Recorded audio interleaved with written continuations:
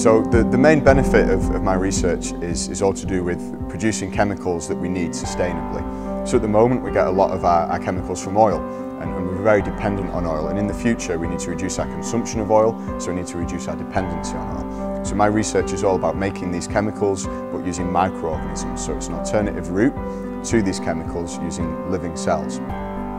And in doing that, we can also use renewable things or, or, waste to actually feed to the cells these microorganisms to produce the chemicals we need.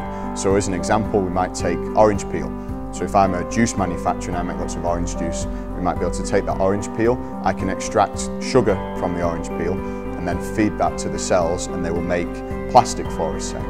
So what we're doing there as chemical engineers is we're, we're designing processes to transform waste into useful products, reduce our dependency on oil and we're, we're adding value. So we're taking waste that the juice manufacturer in this case probably has to pay to dispose of and turning that into something that people need and will pay for. So we add value to that orange peel waste in this instance.